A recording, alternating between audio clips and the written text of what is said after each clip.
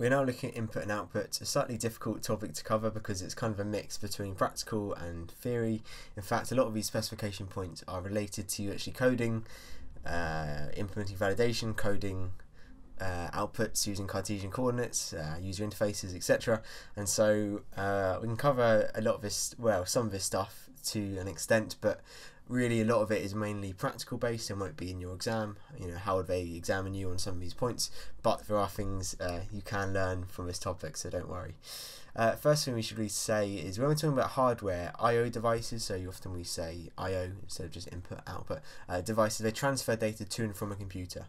And a future topic will be all about hardware and input devices are naturally part of that. And so we'll leave that for now. But really, in this context, in this chapter, we're talking about software. And so inputs introduce data to a program, and outputs transfer data to something outside of a program. So I'm meaning this not massively literally, as in we're talking about a screen or a file etc. And so this is taken from the exam board specification, uh, just the appendix of it, and this is where they list their pseudocode. Only two points for the input output section, um, and that's naturally the input and output. So um, this is a bit like a print statement in languages, and this is actually receiving inputs, and it lists the type, so like for the actual device and the data type, so that's interesting. So if you see that in your exam, that's what that means. So a bit more exam board pseudocode for you, this time for file handling. And a file is just a collection of data with a name usually stored on a computer. And so there's two uh, statements written on the or listed on the pseudocode, just reading and writing to files. Um, if we look at, well, this is me just trying to um, think of something that could come up in the exam. Usually, when you use files as an input source, you first open the file, then you do what you are you, you know the operations you need to do so. Appending something to it inserting something to it deleting something from the file. And then afterwards you close the file. And this is important because open files use up memory space. And as soon as it's opened they're more prone to corruption and therefore data loss unless they're closed immediately after they're needed. So again like I say this is me just trying to think of what could come up in the exam. One thing definitely could come up in the exam is validation. And validation is ensuring the data the user inputs is sensible and usable. So it's really important. Um, it doesn't necessarily check that the data is correct because how would a computer know if it's correct or not? The user could have made a mistake or could be lying. Um, so it's really just checking that it's not going to cause an issue in the program. And so when you write code, you have some kind of understanding of what the user will be inputting at a later stage. So for an example, if we have a program that uses an input of someone's favorite number, you expect them to input an integer. You don't expect someone's favorite number to be like 13.2. You expect it to be a whole number usually, and usually a positive number too, but yeah. So we're, classifying this input as an integer. We're trying to convert it to an integer here. And so when we don't input something that's an integer, so we, uh, we input h, which is a string, we get an error and this is because it can't be converted, it is an integer, and so we get an error. And so what we can do to validate this and ensure it doesn't cause an issue is something called exception handling. And this isn't necessarily in your course, and so this example is probably harder than it needs to be, but really the point is one way to implement validation in code is via a while loop.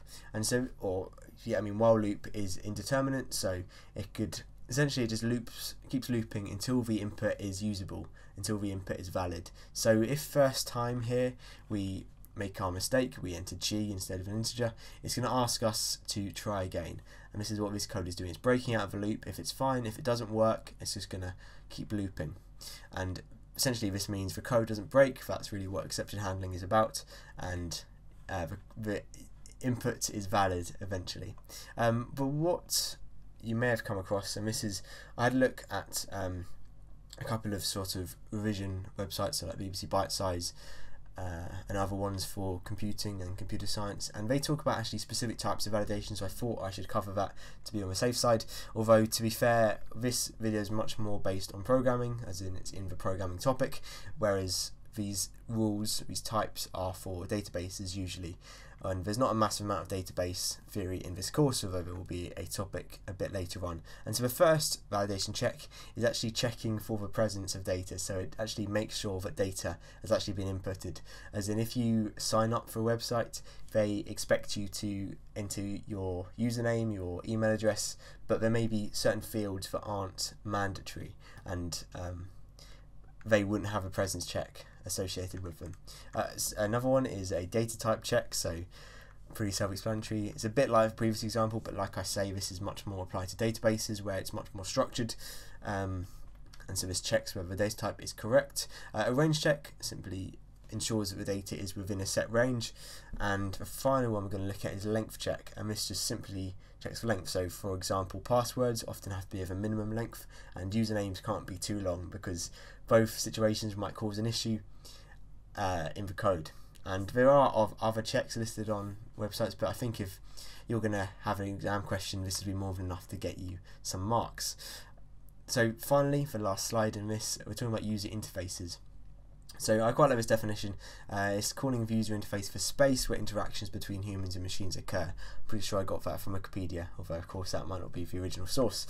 And so graphical user interfaces, GUIs or GUIs, allow interaction through graphical icons. So that's pretty much what we have now. But before that we had textual user interfaces, and these allow interaction through solely command line interfaces, where essentially you just write lines of text, lines of code, and they issue commands to the computer.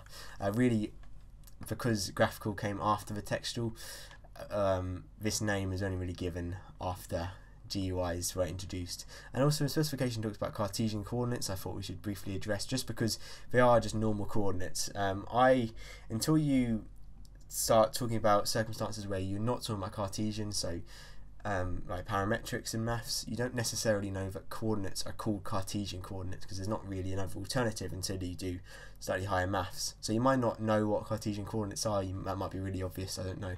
Um, but when we want to position something on the screen, we use Cartesian coordinates. So um, if it's 2D, we use just the x and y axes, and when it's 3D, we use x, y, and z axes. And if you don't know what the 3D coordinate system looks like.